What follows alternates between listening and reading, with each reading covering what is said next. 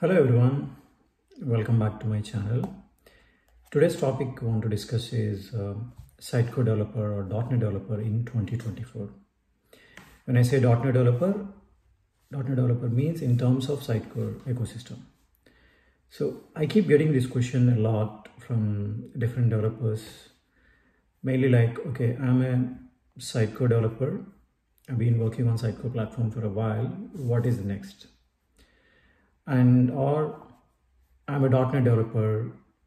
Is it good time to learn Sitecore? So I'll try to answer the two questions in this video. And little disclaimer: this is I mean these are completely my views, not my employers or anyone else.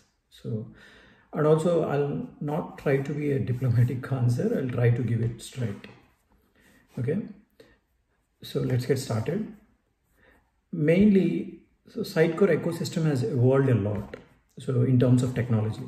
So previously we used to work on um, Sitecore ASP.NET, ASP.NET Web Forms.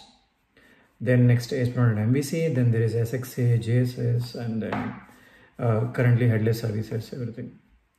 So overall, the infrastructure wise also, you used to get like own racks and servers to host then infrastructure as a service in the cloud as a VMs, and then you have a platform as a service.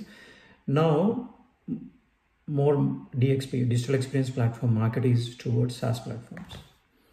So Sitecore also has a lot of uh, SaaS platforms out there, less SaaS products. So started from Content Hub, a lot of acquisitions, Boxever, and uh, Moosend, and Sitecore Discover, and newly implemented Sitecore XM Cloud. It has been there for a while now. So what is difference between like how we used to implement the solutions before?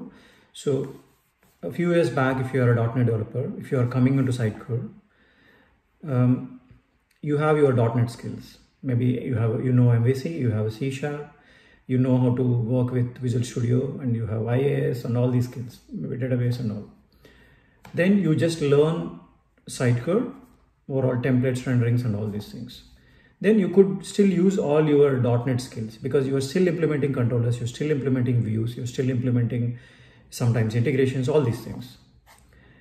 So previously, when you were a .NET developer, learning Sitecore was an addition to your skills. You're not completely uh, learning a new platform altogether. I mean to say, uh, new way of coding or anything like that. But the more and more nowadays so when you are moving to sitecore xm cloud especially in the saas world you could implement a solution uh, anyway because it is decoupled from the uh, sitecore product as well as your implementation client's implementation. So now you got a multiples of choice like um, headless services as like big umbrella and under that you have a JSS JavaScript services and one side you have a Sitecore rendering SDK, I mean .NET Core rendering SDK. Then you have other side is the JavaScript services which again comes under like React, Angular, Vue, Next.js. So you could build solutions among all these. Which is in which is a good in a way because you don't need to decouple uh, sorry you, you don't need to stick to the same system or same technology like your Sitecore. Like we used to stick with ASP.NET MVC. But obviously you have more choices, then your developer requirement also widens. So now previously whenever we ask for Sitecore developer, the most probably they would have come out of .NET ecosystem because they were .NET developers before and they learn Sitecore and they become Sitecore developers. But now we can implement solutions in varied front-end ways as well like React, Next.js and all. So your developer pool is increased.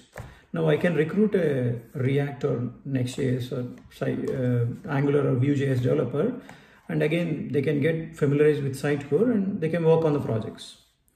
So that is a big change nowadays. So also the technology landscape is changing, right? You have a Docker container, obviously front-end guys or back-end guys and also you have GitOps, you have uh, Vercel, Netlify, different different hosting platforms for uh, this um, front-end solutions. So all this brings in um, change into .NET developers role in the Sitecore world. So to put it simply, if you are a .NET developer, you want to learn Sitecore, you have to learn any of these uh, React or Angular Vue, these platforms, plus Sitecore. Then you can become a Sitecore developer. Compared to previously, you can just learn Sitecore and just move on to the platform, which is a big difference now. And also if you are a Sitecore seasoned developer, now you are saying you are only stick to backend like all the while, even if it, even when there is a JSS, maybe you have not got chance to work on those projects or maybe, you have not preferred to work on those projects. So it is high time you have to learn that uh, React or Angular, all these skills. So cross-platform, cross-skilling. You, if you are stick just sticking to .NET and you want to be on Sitecore, uh, sorry to say, maybe not relevant anymore. Maybe relevant still for one, one and a half years down the road, down the road, but may not be relevant anymore. Okay, I can say that, okay, in XM Cloud also I can use the Sitecore dot I mean, .NET Core Rendering SDK. Yes, we can use, but again, you have to take that with pinch of salt, how many implementations are starting on the platform. Even though Sitecore says, okay, I support all the platforms but how many platforms are sorry how many implementations are starting on um, .NET Core and I don't know it just brings me brings me back to my fresher I mean when I was a fresher in back in 2010 when we were learning .NET we had two options. You could implement a solutions in C Sharp I mean you could implement you could learn the programming C Sharp same Visual Studio Microsoft .NET framework. Also, you could learn VB.NET and obviously .NET framework supports both of them. But obviously you see how, I mean, how many projects were there in VB.NET? How many projects were there in C Sharp? So I feel the same way when someone says, oh, you could implement uh, .NET Core Rendering SDK solutions as well in Sitecore XM Cloud. Yes, it is possible.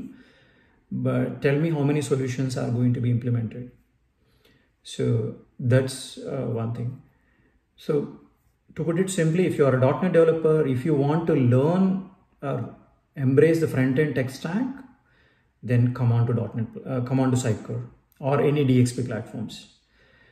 If you are a Sitecore seasoned developer, you still want to be in the DXP ecosystem, uh, learn um, React or Angular, one of the front-end framework.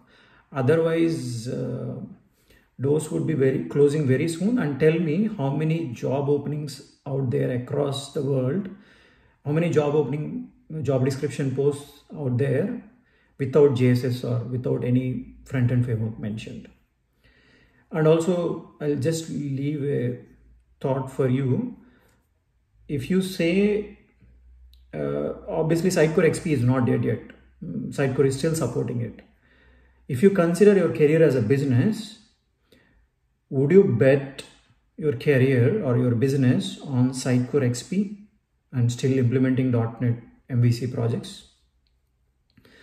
And maybe if this can work out, it would be much better. If you can be a platform agnostic developer, like you can learn one front-end skill, one front-end platform, whichever Next.js is no most popular, and also learn multiple uh, Sitecore, Umbraco, Kentico, or any other ecosystems, DXP platforms, that would be much better because your options would be much wider. Obviously not possible for everyone because you might be getting certain projects, but I will leave you for it. So that's all for this video. It's just a, my mind on the current Sitecore ecosystem for developers.